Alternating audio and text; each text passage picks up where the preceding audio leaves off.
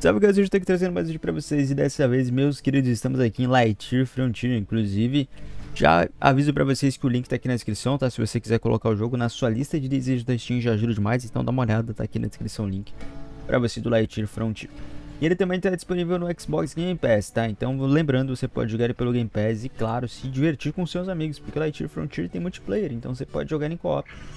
E é basicamente o seguinte, meus queridos. Você tem um jogo relaxante, tá? De fazendinha, entre, dá pra gente se dizer. Onde você que controla nada mais nada menos que um mecha enorme, tá? Então, não sei dizer na realidade se o mecha é enorme, talvez a gente seja anãozinho demais. Mas, temos um mecha aqui, ó. Inclusive, tá chegando um comerciante. Vamos dar uma olhada como é que tá o comerciante aqui. Oi, fia, tudo bom? Ela vende algumas coisinhas e compra também, tá? Então a gente pode comprar e vender coisinhas dela. Tem até algumas coisas aqui, ó. Peça de mecha, motor tal.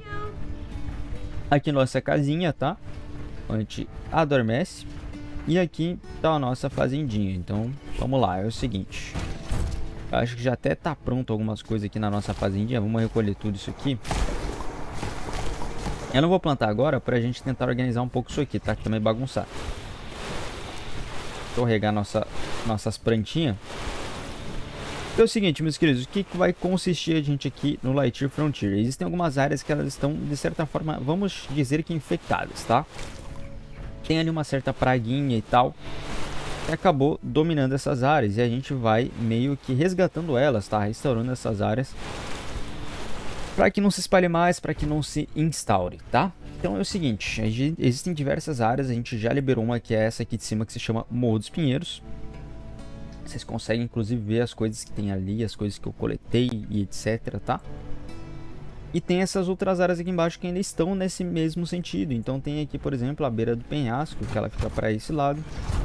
E que a gente vai inclusive ver lá, tem uma névoa é, com raios, como se fossem com raios e tal, uma fumaça ali, né? Como se fosse um gás, algo do tipo.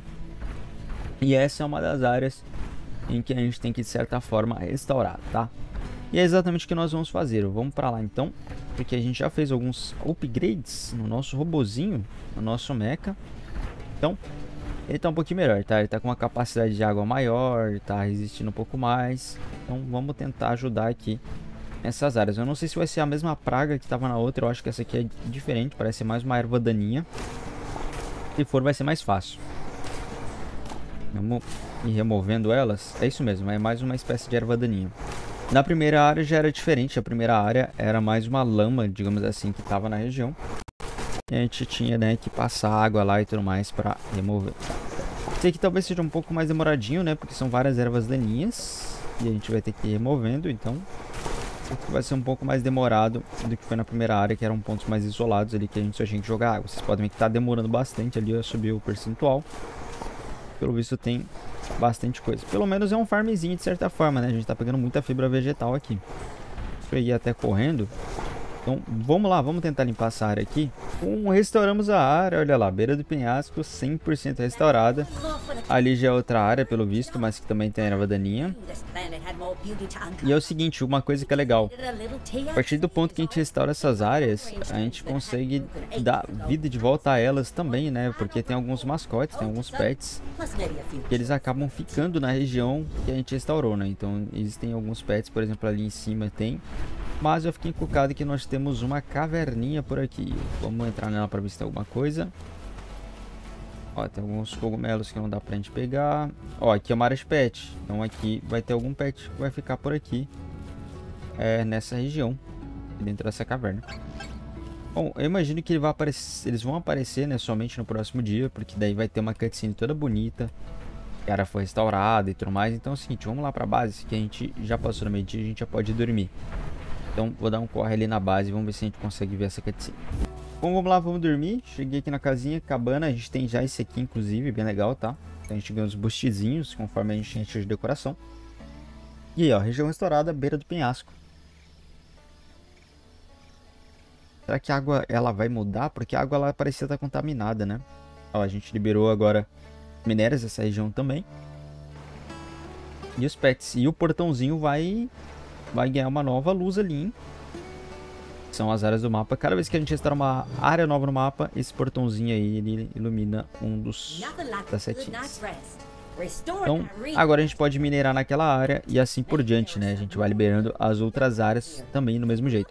Então, inclusive aqui, ó, pradaria falta encontrar alguma coisa aqui ainda, na Morro do Penhasco também.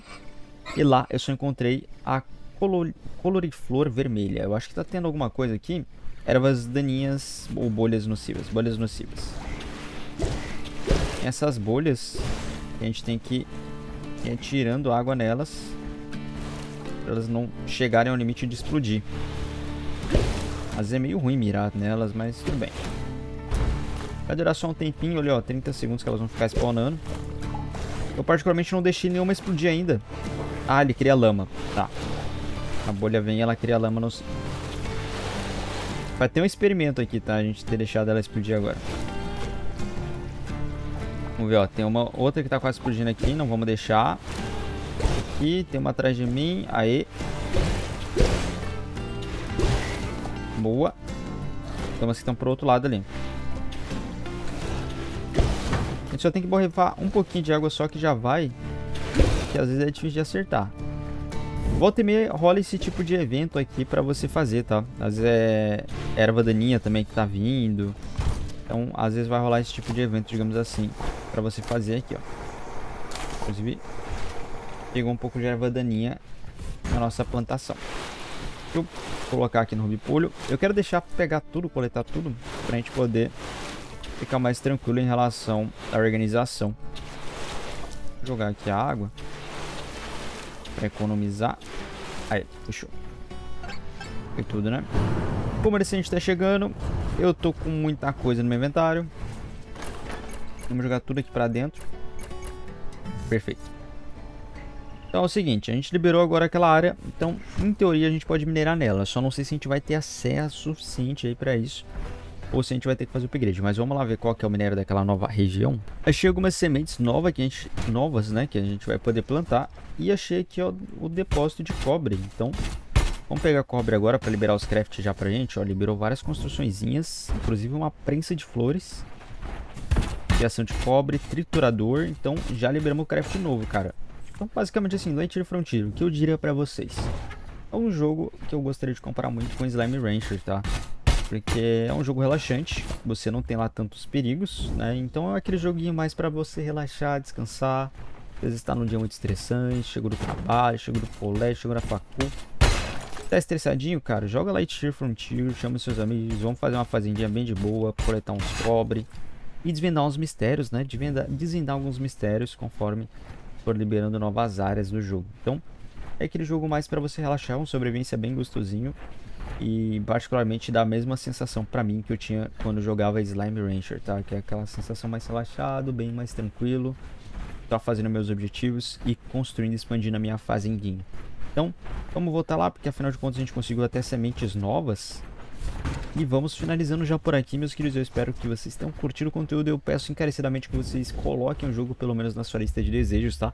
Isso já ajuda bastante. Então, clica aqui no link aqui embaixo na descrição do Lightyear Frontier e coloque ele na sua lista de desejos, que isso vai ajudar demais. Espero que vocês tenham gostado. Se você está jogando ou jogou Lightyear Frontier, deixa umas dicas aí no comentário. Sempre é bom ajudar quem precisa. Então, às vezes tem alguém jogando, precisando de alguma dica. Eu mesmo posso utilizar essas dicas. Então, deixe no seu comentário a sua dica de Lightyear Frontier. E vamos lá, né? Eu tô jogando ele em livezinha às vezes. Espero que se vocês quiserem encarecidamente também acompanhar as livezinhas que eu abro de vez em quando. A gente vai estar jogando Lightyear Frontier diversos joguinhos. Mas eu espero que vocês tenham gostado. Deixa o like, ative o sininho para receber as notificações. E é isso. Valeu, falou e fui!